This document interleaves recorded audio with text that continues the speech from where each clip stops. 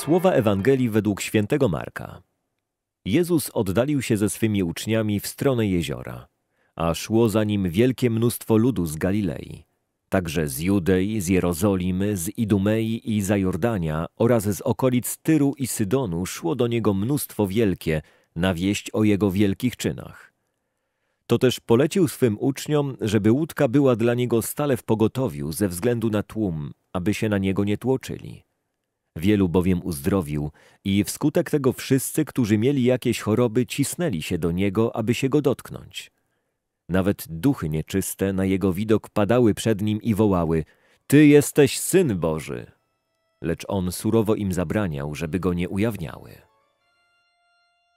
Kto jest zdolny do rozpoznania w Jezusie Chrystusie Syna Bożego? Każdy.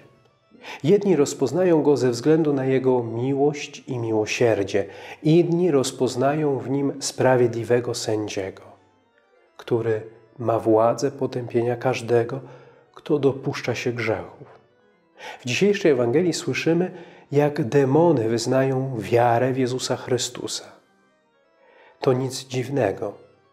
Przed Nim bowiem zegnie się każde kolano, wierzących i niewierzących, świętych i grzeszników, aniołów i demonów.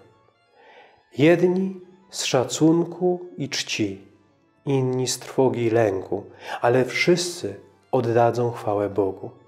W obliczu coraz mocniejszej sekularyzacji życia w naszej ojczyźnie możemy załamać ręce i biadać nad przyszłym losem dzieci naszego narodu. Lecz czy to coś zmieni? Dzisiejsza dobra nowina napełnia nas nadzieją.